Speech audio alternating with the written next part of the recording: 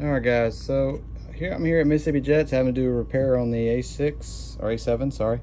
Uh, but I've kind of been, you know, I've been been pretty uh, blunt about this jet and the issues. Well, uh, I had mentioned in a prior video about bulkheads coming loose inside the jet because of it was on ply. Well, this is the nose gear. Like the nose is torn out, but it, it didn't tear anything. It just bolt, uh, you know, basically come apart at the glue joints. And what I found is this and you can see it like it's hard to see from this vantage but you can see the edge of the wood where it touch, touches the skin where this brown is. That is wax that has soaked into the wood. That is wax at the glue joint or actually where the wood is touching the skin and they put glue on both sides uh, right there.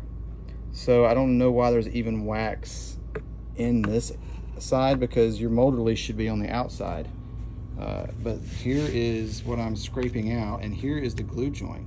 So this is the round curve to the side of the fuselage, and this is the side that touches the fuselage. So there's wax on the between the glue and the outer skin. So yeah. So we'll get there. I flew it with the bombs on, no change to CG. I'm still it's just an experience problem because I haven't flown it uh, since uh, Georgia Jets. I'm still I'm landing. My first fly yesterday, I landed fast. This flight, I landed fast and went long, and then for some reason it didn't want to respond and it went into the grass, and that's when it uh, hit and tore that off, and tore my repaired pylon off. So I'm gonna fix this. Fix this first.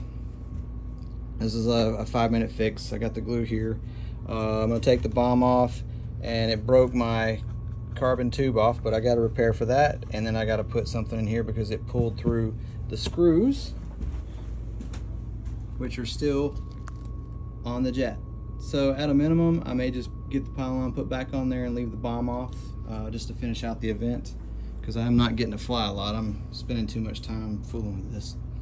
Uh, but I just want to show you that, just so you guys, you know, people people are like, why are you so critical? Well, this is why I'm critical because uh, is what you run into.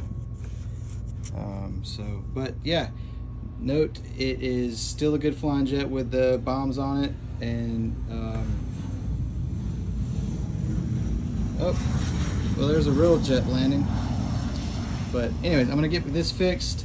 I gotta vacuum all the grass out of the back. I had to do the front.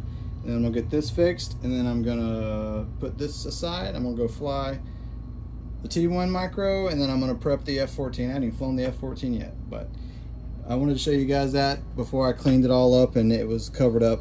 Um, so you guys have a good one and I'll see you back in the shop. Cheers.